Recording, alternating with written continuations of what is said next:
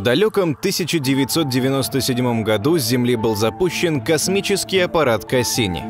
Его путь лежал через тьму и немоту к газовому гиганту, подпоясанному разноцветными кольцами – Сатурну. Только в 2004 году цель была достигнута, и работа по сбору материала, запланированная земными астрономами, началась. Прошли годы, и теперь единственный искусственный спутник Сатурна близок к смерти. Многие люди желают приподнять завесу будущего и узнать, когда наступит последний час их существования. А вот создатели Кассини решили для аппарата этот вопрос еще в конце прошлого века, перед запуском зонда – Роковое событие назначено на 15 сентября 2017 года. Что же за этот срок успел сделать легендарный аппарат? Хаббл. Спутники Кассини обнаружил массу интересных деталей, которые невозможно было бы увидеть иным способом. Внеземные озера. Например, на Титане, наибольшем спутнике Сатурна, зонд увидел метановые озера – на сегодняшний день это единственное место в Солнечной системе, где были обнаружены своеобразные водоемы, помимо, разумеется, Земли. Астероидный лед. На маленьком, похожем на астероид спутнике по имени Феба, Кассини выявил белые пятна, сильно походящие на лед. Но это самые тривиальные открытия. Наиболее странными и необъяснимыми стали так называемые спицы в кольцах Сатурна и звуки планеты –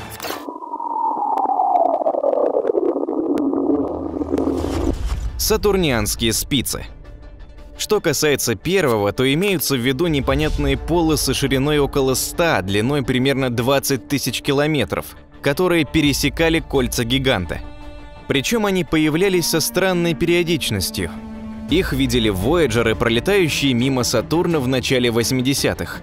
А вот в период с 1998 по 2004 спицы замечены не были – Тайну мгновенно появляющихся и также быстро исчезающих структур попытались объяснить 30 ведущих специалистов из многих мировых держав.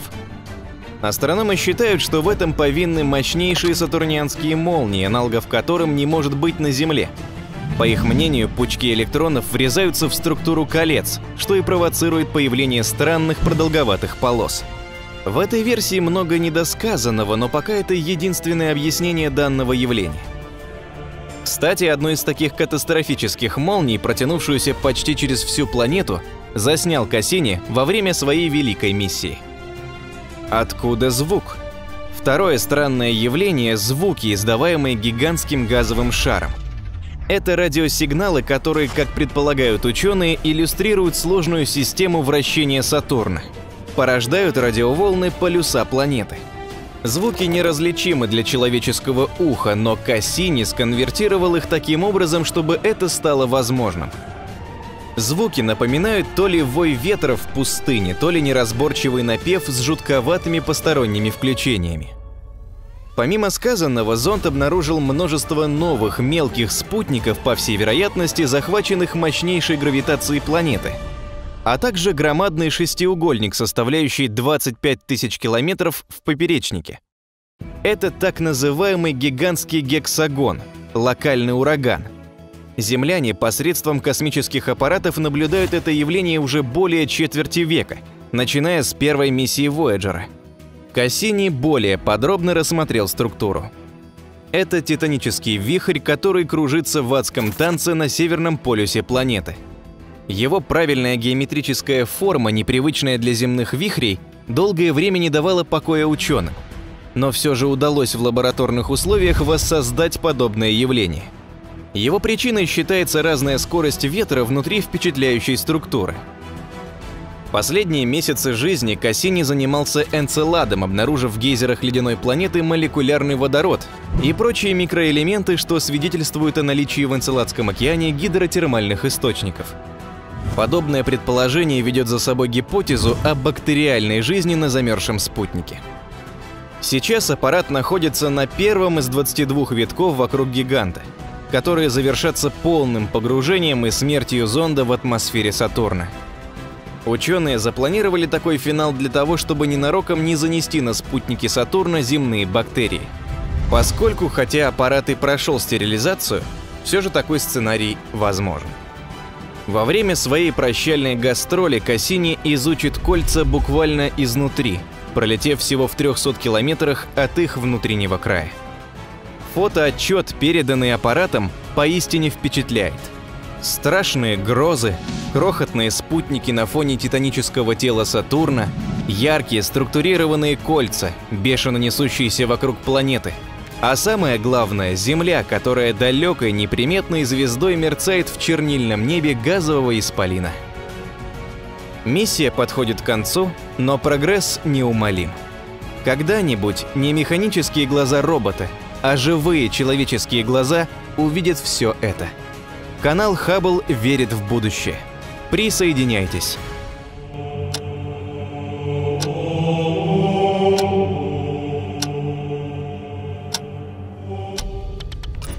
Конце 20 века произошло событие, повторить масштабность которого пока никому не удалось, даже известному затейнику и фантазеру Илону Маску. В 1977 году в космос были запущены два зонда под говорящим названием Voyager – «Путешественник». Почему миссия, за которой до сих пор следит вся планета, обрела жизнь именно в этот период?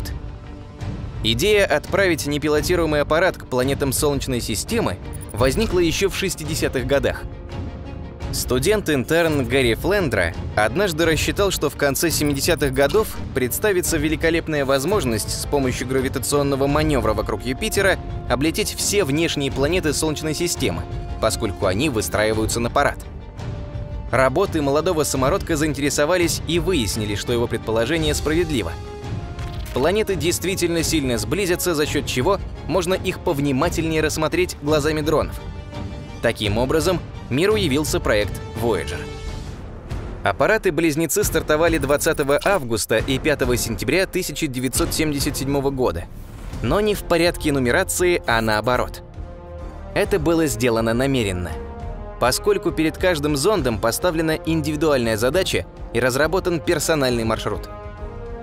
Voyager 2 достался Юпитер и Сатурн, но после продления миссии он успешно рассмотрел Уран и Нептун. Voyager 1 выполнил свою задачу также на отлично. Посетил планеты-гиганты и юпитерианские Галилеевы спутники. А далее по короткому пути отправился за пределы гелиосферы и стал первым аппаратом, передавшим информацию о суровых условиях межзвездной среды. Что касается времени службы аппаратов, их можно сравнить с марсианским зондом Opportunity — о котором мы рассказывали в одном из недавних роликов. Вояджеры также многократно превысили запланированные сроки и надежды создателей. Вспомним же интересные моменты, сопровождающие эту невероятную миссию с эксклюзивными фотографиями, сделанными зондами и по сей день имеющие научную ценность. Зонды не просто исследовали планеты Солнечной системы. Они активно их фотографировали – Например, Voyager 2 впервые в истории подлетел к Галилеевым спутникам и сделал подробные снимки Европы. Именно после их обнародования мир задумался о возможном нахождении громадного океана под толстой ледяной коркой Юпитерианской Луны. Также зонд с близкого расстояния сфотографировал древний Ганимед. Voyager 1 впервые сделал детальные снимки Юпитера, в частности чудовищный ураган, на протяжении трех веков бушующий в атмосфере планеты побывал зонд и в окрестностях Сатурна, где в поясе его колец, который аппарат благополучно запечатлел, немного повредил штангу с приборами. В свою очередь, Voyager 2 — единственный земной аппарат, максимально приблизившийся к замороженному урану. На полюсах гиганта он зафиксировал температуру минус 215 градусов Цельсия. Зонд сделал сотни портретов планеты и ее лун, обнаружил новые спутники и кольца. Но особенно близко Voyager 2 подлетел к Нептуну, всего на 48 тысяч километров, после чего произвел уникальные снимки легендарного Большого темного пятна, самого стремительного урагана в Солнечной системе. Также аппарат обнаружил, что Тритон — не единственный нептунианский спутник. Зонд отыскал еще четыре Луны. Такие кадры завораживают, не правда ли? И наверняка вы спросите, куда занесет Вояджеры спустя тысячелетия? Начнем с общих сведений. Полезная начинка. Оба 800-килограммовых зонда снабжены одинаково. Масса аппаратной нагрузки 86 килограммов. На Voyager установлены три термоэлектрических генератора, работающих на плутонии-238, период полураспада которого составляет почти 88 лет. Поэтому продуктивность навигационных и прочих систем медленно, но неуклонно снижается. Аппарат оборудован двумя компьютерами с возможностью перепрограммирования, что неоднократно помогало избегать проблем в пути. Также на борту есть две разнонаправленных антенны, несколько камер инфракрасный и ультрафиолетовый спектрометры, детекторы плазмы, космических лучей и заряженных частиц, магнитометры. Послание инопланетянам. Каждый зонд укомплектован золотистым диском, на котором собрано 115 слайдов с видами Земли, актуальными научными данными, информацией о строении человека. Помимо прочего, электронный носитель полон звуков. Слышен плач ребенка, грохот вулканов, шум прибоя, человеческая речь. На диск записаны музыкальные произведения и популярные песни. Словом, если кто-то, обладающий разумом, встретится с Вояджерами, то, прослушав и просмотрев предложенный материал, точно пожелает посетить Землю. Как ни грустно осознавать, но рукотворные аппараты постепенно покидают Солнечную систему, отправляясь в негостеприимные глубины далекого космоса. Хотя пути зондов расходятся, но их судьба идентична. Они никогда не вернутся на Землю. Специалисты считают, что связь с Вояджерами продержится примерно до 2025-2030 годов. Затем рупоры эпохи замолчат навсегда. Примечательно, что в 2017 году, после 37-летнего перерыва, двигатели Voyager 1 кратковременно запустили, чтобы отрегулировать курс зонда. Последний раз они были задействованы в ноябре 1980 года, когда аппарат пролетал вблизи Сатурна. Где сейчас находятся зонды-путешественники?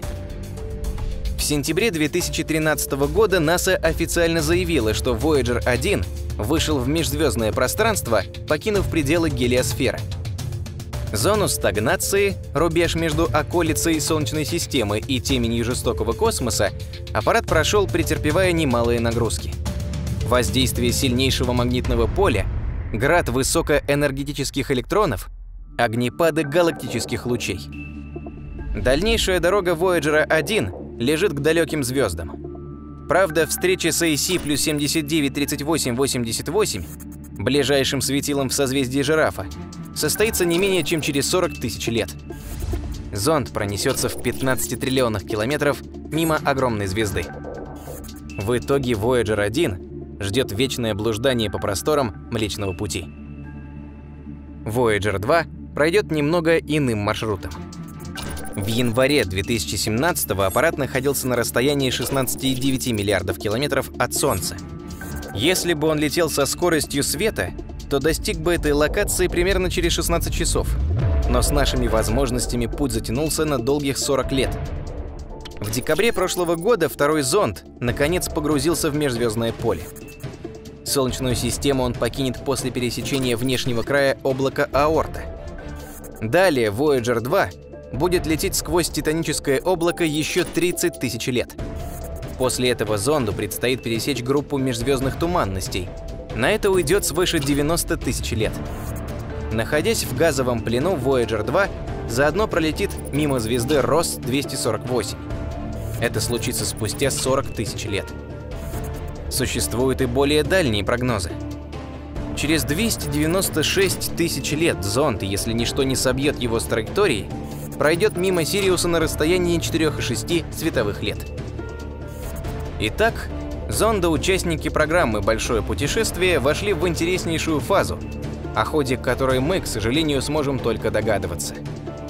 Но у землян остались фотографии, например, Pale Blue Dot – светло-голубая точка.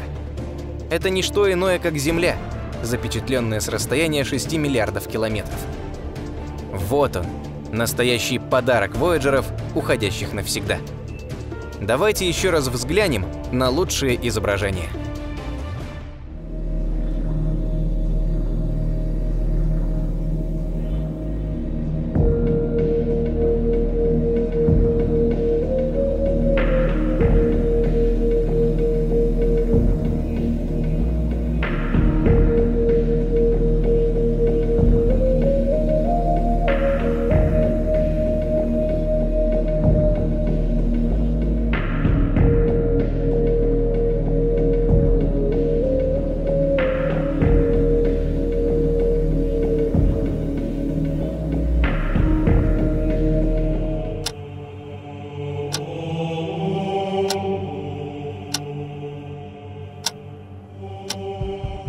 13 февраля 2019 года мир попрощался с трудолюбивым электронным посланником Земли на Красной планете зондом Opportunity. Напомним, что последний сеанс связи с ним состоялся 10 июня 2018 года. Затем, вследствие глобальной пылевой бури, зонд впал в вынужденную спячку из-за неработающих солнечных панелей, занесенных марсианским песком. Ученые предпринимали неоднократные попытки связаться с Opportunity, но он так и не откликнулся. Было принято коллегиальное решение свернуть миссию как нерентабельную. Аппарат работал на Марсе с января 2004 года, продемонстрировав множество полезных открытий и невероятно красивых фото. Opportunity превзошел все ожидания, прежде всего по срокам пребывания на поверхности нашего пыльного соседа. Вместо требуемых 90 солов, чуть больше 92 земных суток, зонд гостил на Марсе примерно 5500 дней, то есть около 15 лет. За это время аппарат прошагал более 45 километров. Давайте отследим путь маленькой, но эффективной машины, затерянной в песках далекой планеты, пока аппарат не стал частью истории. Начнем с внешнего вида зонда-долгожителя. Параметры Opportunity. Аппарат, запущенный с мыса Канаверал в 2003 году, весит 185 килограммов. По причине гораздо меньшей силы тяжести на Красной планете, этот вес соответствует 70 килограммам. Размеры Opportunity скромные – 1,6 на 2,3 метра, а высота зонда – 1,5 метра. Отправная точка путешествия. Посадка Opportunity произошла не совсем в той локации, где предполагалось, а с поправкой на 25 километров. Но этот факт оказался удачным, поскольку зонд сел аккурат в кратер, который астрономы и не мечтали изучить. Яма глубиной 22 метра позже была названа кратером Игл. Opportunity приземлился на одном из его откосов, не доходя 10 метров до внешнего края метеоритной воронки – Едва опустившись на поверхность, Зон сделал несколько панорамных снимков кратера. Перед взорами землян предстал сухой и пустынный мир, окрашенный в буро-коричневые оттенки. Уже в первые марсианские сутки марсоход удивил своих создателей. Зонд обнаружил области, где на поверхность вышли коренные горные породы. Это, по мнению многих специалистов, свидетельствует о том, что на Марсе когда-то была вода – в целом плато Меридиана, находящееся южнее экватора, было выбрано в качестве места посадки не случайно. Здесь много кристаллического гематита, минерала, образующегося только в горячих земных источниках или водоемах со стоячей водой. Это еще раз подтверждает теорию о водном прошлом Марса. А тысячекилометровое плато Меридиана после исследований, проделанных зондом, официально считается дном Древнего океана. Уникальная марсианская траншея. Ни один марсоход до этого не пытался проникнуть в марсианский грунт. А Opportunity это удалось. За 22 минуты, отчаянно маневрируя на одном колесе, тогда как остальные оставались неподвижными, зонд вырыл неглубокую 10-сантиметровую траншею длиной полметра. Но несмотря на крошечные размеры рва, внутри аппарат кое-что обнаружил – Микрокамера не смогла дифференцировать грунт, поскольку даже для ее разрешения он слишком мелкозернист, но обнаружила блестящие шарики правильной формы. Это и был тот самый гематит, метко прозванный учеными черникой. Земные облака на Красной планете. После кратера Игл, начального пункта пути длиной 15 лет, Opportunity направился к другой метеоритной воронке под названием Endurance – Глубина кратера всего 20 метров. На его дне марсоход провел полгода, изучая грунтовые слои, отдельные камни и еще раз убеждая ученых, что на Марсе когда-то были моря и океаны. Но самое удивительное событие произошло еще при спуске в Endurance. Opportunity зафиксировал фрагмент неба, где запечатлел тончайшие перистые облака, напоминающие земные. Метеорит – первопроходец. Зонд не зря 15 лет бороздил марсианские пустоши. Во многом он был первым, обнаруживая и проделывая то, что не было сделано другими аппаратами. Например, выбравшись из кратера Endurance в январе 2005 года, Opportunity была дана команда обследовать место посадки. Именно там произошло неожиданное открытие.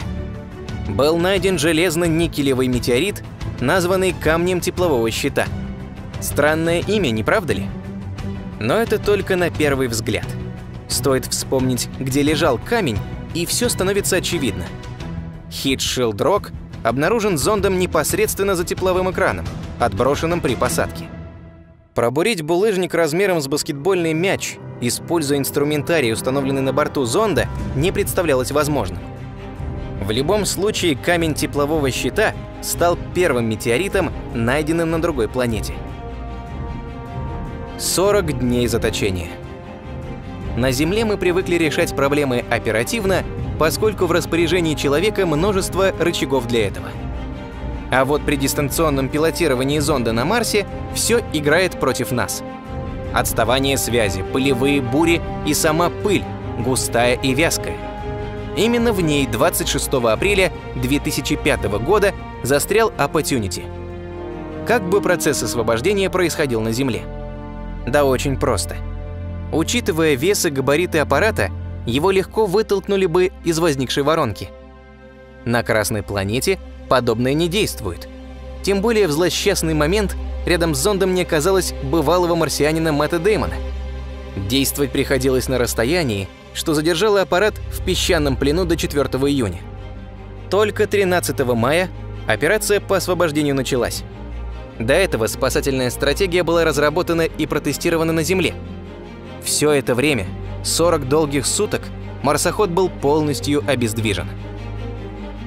Этапы Большого пути За годы путешествия по пустынному Марсу Opportunity посетил кратеры Эребус, Виктория, Консепсион, Санта-Мария, огромный Индевор диаметром 22 километра, долину Персиверса и Марафонскую, холмы Матьевича и Саландер, благополучно пережил несколько пылевых бурь и выход из строя некоторых деталей. Изучал странные камни, гипсовые жилы и необычные локации вроде Утиного озера или Грилли Хейвен. Марсоход собрал огромное количество данных, начиная с подробного отчета о погоде Красной планеты и анализе ее грунтов, заканчивая фиксацией видимого прохождения Фобоса на фоне солнечного диска и нахождением косвенных свидетельств наличия пресной воды после изучения камня Эсперанс-6. Доказано, что булыжник миллиарды лет назад омывался водой, имеющей нейтральный уровень кислотности. До этого считалось, что по марсианским долинам и рытвинам текла жидкость, похожая на серную кислоту. Летаргический сон близ кратера Индевр. В спячку, вызванную пылевой бурей размером более Северной Америки, Opportunity впал на склоне громадного 22-километрового кратера Индевр – Стихия, бушевавшая несколько месяцев, превратила марсианский день в мрачные кровавые сумерки. Это четко зафиксировал Curiosity, зонд, функционирующий в иной локации. Буря охватила всю планету, но остальным марсоходам существенного урона не нанесла. А вот Opportunity, питающийся от солнечных батарей, умер во сне. Негативную роль сыграли и критически низкие температуры марсианской ночи. Общепланетарное внимание к свертыванию миссии приковано не зря. Зонд, находясь на Красной планете, как ни один другой аппарат открыл для нас неведомый доселе пустынный мир, изучил его по мере возможности, предоставив убедительные доказательства того, что Марс не всегда был мертвым и сухим. Эпоха Opportunity, в 60 раз превысившего ожидаемый период пребывания, завершилась, когда последняя – Девятая попытка установить связь с зондом не увенчалась успехом.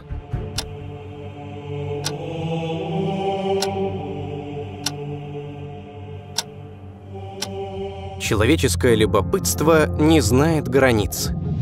На родной планете оно уже не находит удовлетворения, поэтому представители Homo sapiens с надеждой обратили взор на свою ближайшую соседку, покрытую оспинами кратеров Луну. Надо признать, что загадочных явлений и непонятных строений на поверхности нашего спутника вполне достаточно. Тому есть масса фотодоказательств, как обнародованных, так и случайно рассекреченных. Сегодня попытаемся познакомить вас с наиболее интересными из них. Странные объекты. Источники фотографий объектов, о которых сейчас пойдет речь, разные, но об их происхождении ведутся бесконечные споры. Итак, начнем. На обратной стороне Луны запечатлен кратер, дно которого имеет прямоугольную форму, схожую с земными карьерами. Кроме того, сам объект не похож на метеоритный кратер, скорее на провал лунной поверхности. Некоторые видят на его дне вход в подземелье. Ни один астроном изучал снимок, о коем сейчас пойдет речь, и практически все сошлись во мнении, на фото видна башня искусственного происхождения. Причем высота ее немыслима по земным меркам – около 11 километров. Дальше интереснее. Весь спутник испещрен следами катящихся валунов, при том, что на Луне нет бурь, и она необитаема. Во всяком случае, нам так удобнее думать. Аппарат Lunar Orbiter обнаружил структуру, похожую на статую или стелу двухкилометровой высоты, свет от которой отражается настолько неравномерно, что ученые практически не сомневаются. Объект создан из материала, напоминающего стекло – Помимо упомянутых обнаружено еще сотни фотодоказательств. Очертания развалин и строений, идеально ровную стену 75-километровой длины, множество огней и молний, камни странной конфигурации, напоминающие черепа, титанических размеров пирамиды и многое другое. Загадка лунных кратеров. Казалось бы, что необычного – у Луны нет атмосферы, поэтому метеориты, не встречая сопротивления, падают на ее поверхность, оставляя шрамы, кратеры. Но есть в этой схеме некоторые нестыковки. Дело в том, что практически все следы от метеоритов примерно одинаковой глубины, хотя в размерах разница может быть значительной. Логично предположить, что кратеры 400-метрового и 150-километрового диаметра должны отличаться по глубине – но на Луне этого почему-то не случилось. Некоторые ученые выдвигают смелую теорию об искусственном происхождении спутника. Объект был отлит из сверхпрочного материала, на который нанесено несколько километров грунта. Естественно, что при таких условиях логично вообразить, что воронки от падения любого тела будут практически одинаковой глубины. Что скрывает темная сторона? Учеными давно наблюдается интересный парадокс. На обратной стороне нашего спутника огромное количество кратеров и гор, в то время как на видимой стороне, наоборот, больше морей. Откуда столь явная географическая симметрия? Этому ученые пока не могут найти внятного объяснения. Да и так называемые лунные моря также вызывают массу вопросов. Вернее, не они сами, а природа возникновения этих странных объектов. Если бы Луна была горячей штучкой, проблема отпала бы сама собой, но судя по размерам небесного тела, вероятнее всего наш спутник всегда был холоден. Отсылка в пустоту. Последние исследования строения Луны вынуждают ученых приходить к неожиданным выводам. В частности, столь малая плотность настолько крупного объекта наводит на мысль о том, что наш спутник полый. К формированию небесного тела тоже возникают вопросы. Астрономы называют Луну планетой, которая создавалась наоборот. И это также наталкивает некоторых на мысль о ее искусственной природе. Несостоявшиеся теории – Известно несколько гипотез относительно причин появления Луны на земном горизонте. Кстати, изучая древние карты звездного неба, историки-археологи осмеливаются утверждать, что примерно 10 тысяч лет назад Луны не было вообще. Но оставим экзотические предположения. Обратимся к популярным теориям. Первая гласит, что Луна была захвачена земным притяжением, и с тех пор пленница курсирует по замкнутому кругу. Но странность вот в чем. Луна облетает Землю не по эллипсоиду, что было бы логично, а по точно очерченному кругу.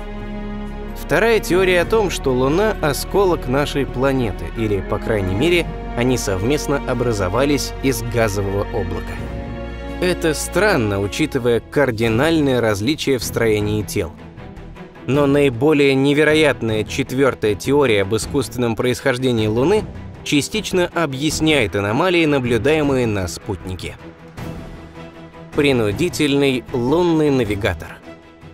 На Луне есть такое странное явление, как масконы. Это участки, иногда достигающие тысячи километров в диаметре, которые обладают гораздо большим гравитационным влиянием. Наиболее значительные располагаются под лунными морями, а причиной их появления считают неоднородную структуру внутреннего строения Луны.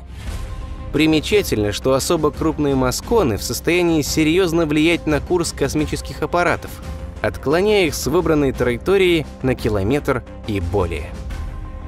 Мы привыкли к еженочному появлению холодной красавицы Луны на земном горизонте и не представляем иной картины мира. Но если присмотреться к фактам о спутнике повнимательнее, то очевидными станут некоторые несоответствия общепринятым законам, которым подчиняются спутники других планет. Начнем с размеров. Луна всего в 4 раза меньше Земли, что среди планет Солнечной системы является нонсенсом. Следующая странность лежит в области математических вероятностей и касается расстояния от Земли до спутника. Оно таково, что Луна и Солнце визуально сравниваются в диаметре, и благодаря этому невероятному совпадению мы можем наблюдать уникальное явление – солнечное затмение. Словом, Луна полна тайн и загадок, ответы на которые пока не найдены. Можно было надеяться на пилотируемые миссии, так удачно стартовавшие в конце 20 века. Но после первого же полета все планы относительно путешествий на спутник были экстренно свернуты как США, так и СССР. Почему? Это еще одна загадка, которую со временем предстоит разгадать почаще поднимайте глаза кверху и всматривайтесь в лунный лик вместе со всем миром. Возможно, она откроет свои секреты именно вам.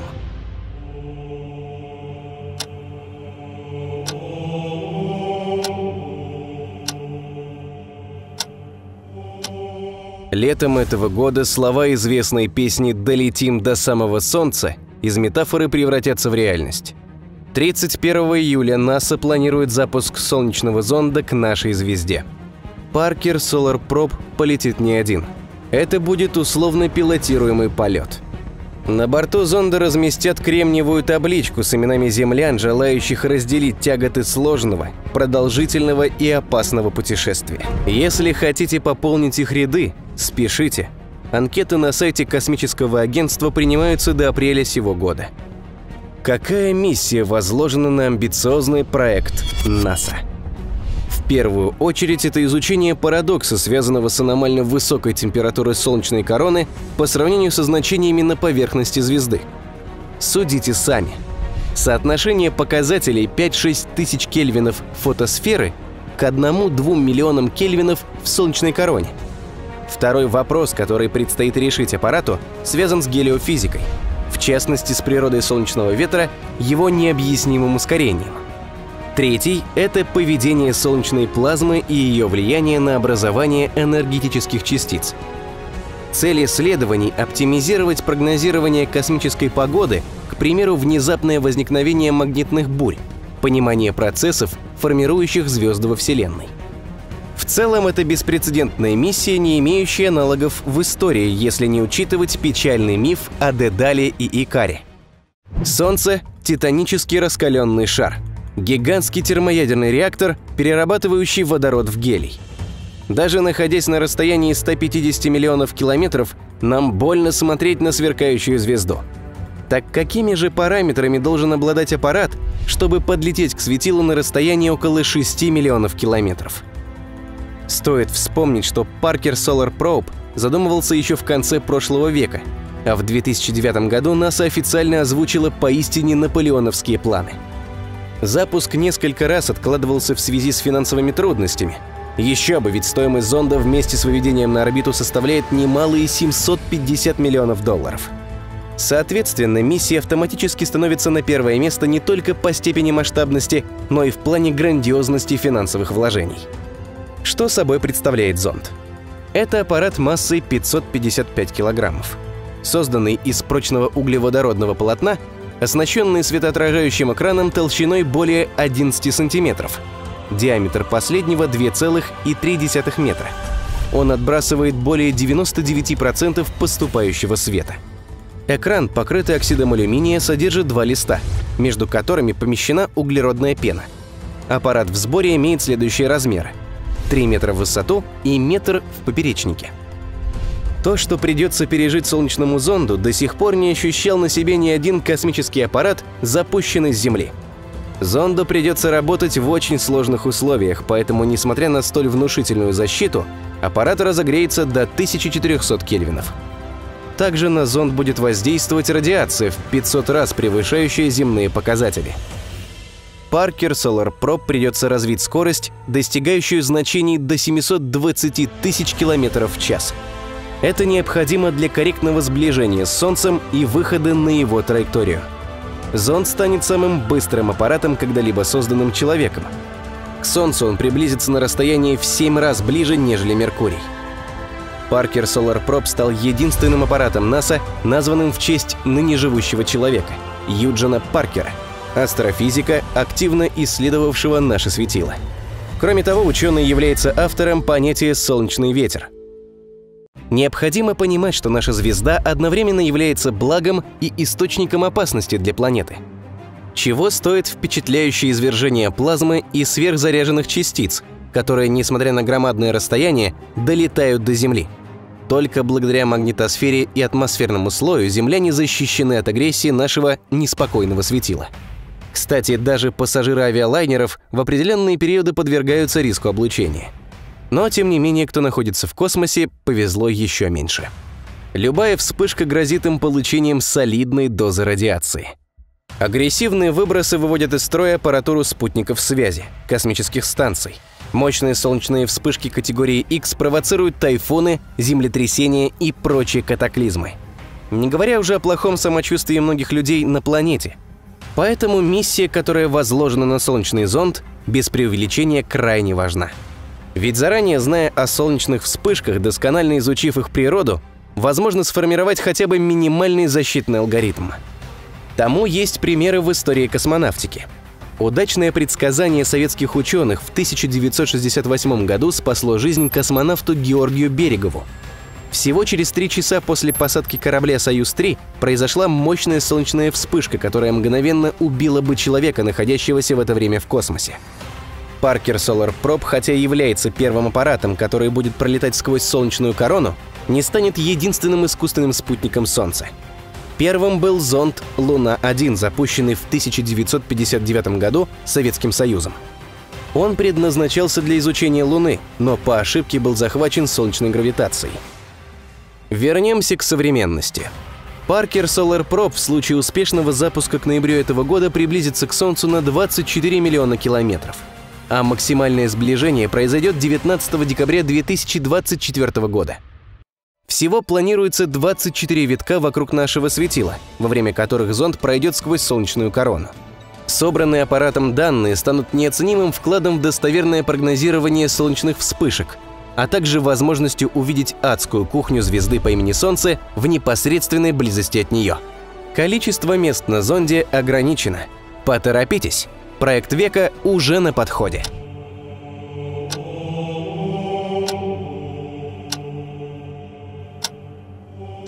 Величественный окольцованный Сатурн будоражит умы людей со времен Галилео Галилея. Итальянский астроном еще в начале 17 века заметил около планеты странный объект, который невозможно было отчетливо рассмотреть в примитивный телескоп – Поэтому Галилей решил, что это очередной спутник гиганта. И только спустя 46 лет нидерландский изобретатель и звездочет Христиан Гюгенс ван Зёлихем предположил, что это не что иное, как кольца – Даже сейчас природа и происхождение сатурнианских колец вызывают споры и порождают море гипотез. А в те темные времена астрономы были уверены, что планету окружает сплошной гигантский обруч. Кстати, что колец несколько, ученые прошлых веков тоже поняли не сразу. И только в 1975 году Джованни Доменико Кассини определил, что кольца разделены как минимум одним промежутком – Деление было названо именем первооткрывателя. Откуда у газового гиганта появились столь странные сопровождающие? И второй вопрос – как они удержались настолько близко к планете и не были разрушены ее чудовищной гравитацией? Решением второй проблемы озаботился француз Рош. Он точно рассчитал рубеж, за которым любое тело должно быть разорвано на клочки силами притяжения родительской планеты – но вот парадокс. Внутренние части сатурнианских колец предел Роша нипочем. Ученый мир недолго пребывал в недоумении. Французский астроном почти сразу же вышел из положения. Он предположил, что кольца не сплошные и не жидкие, а скорее всего состоят из миллиардов мелких частиц, поэтому на них расчеты не распространяются. Значит, расхожая фраза о Земле, свободно катящейся по кольцам Сатурна, не более чем цветистая метафора, созданная для демонстрации их грандиозности. Спустя века зонд Кассини, запущенный в 1997 году, продемонстрировал миру абсолютную справедливость утверждения француза. Но еще до эпохального события в 1952 году с помощью спектрального метода была частично выяснена природа колец. Оказалось, они на 99% состоят из водяного льда.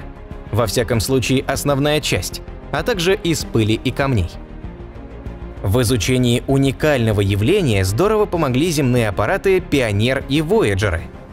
Они прояснили, какова истинная толщина и ширина колец – а также глазами камер продемонстрировали землянам сатурнианские обручи вблизи. Ширина колец несравнима с их толщиной. Около 80 тысяч километров против тысячи метров. Они настолько тонкие, что в определенные периоды кольца практически не видны, поэтому не мудрено, что Галилей их едва заметил. Диаметр образования огромен – около 250 тысяч километров – Температура колец в тени составляет минус 210 градусов по Цельсию. На солнечной стороне – минус 203. Вес сатурнианского балласта – 3 на 10 в 19 степени килограммов.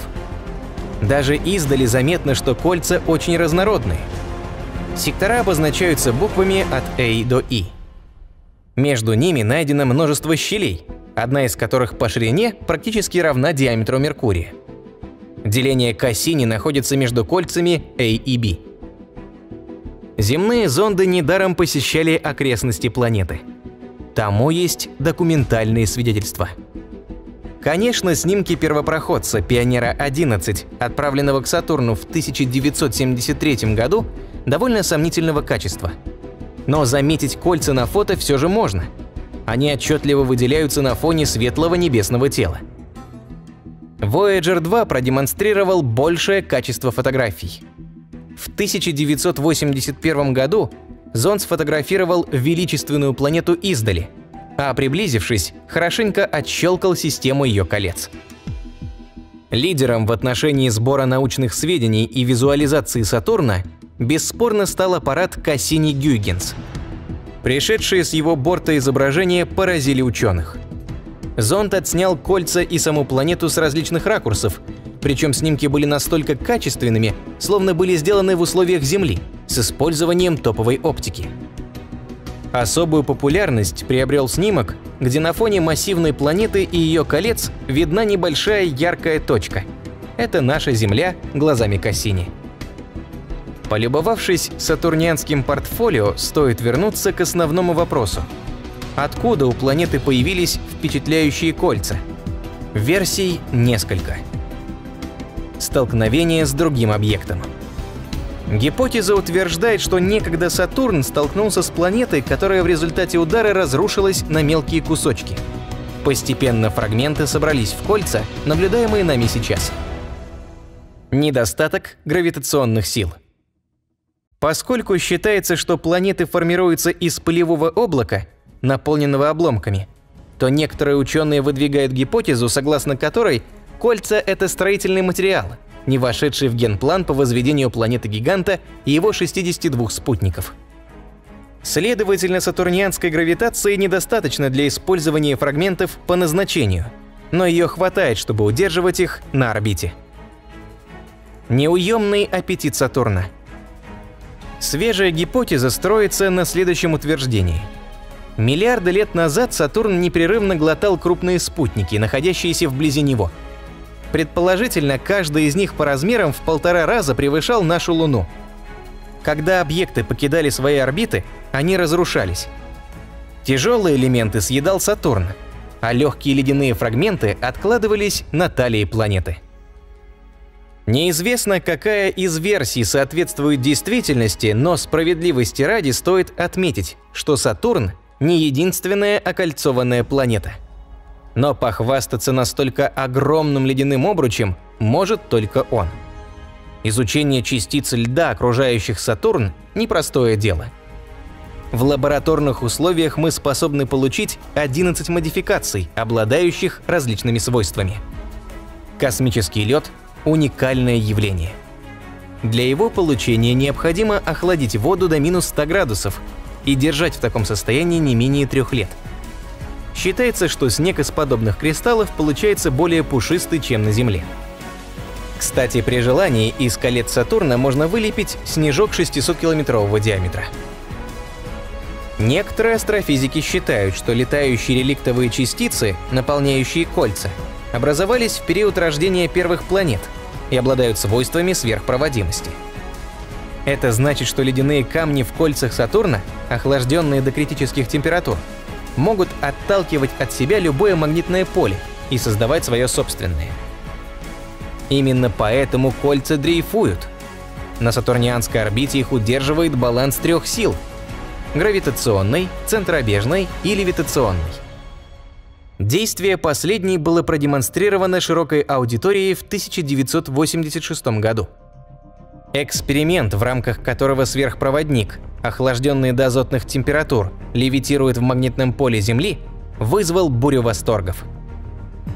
Помимо спорного происхождения колец, Сатурн скрывает множество тайн и загадок, и мы находимся в самом начале пути к их разгадке. Ну вот, как-то так, коротко об этом. Надеюсь, видео вам понравилось, и в благодарность вы поставите большой палец вверх – и напишите мнение о выпуске. Ведь ваши лайки и комментарии дают очень большой заряд делать видео все чаще и качественней.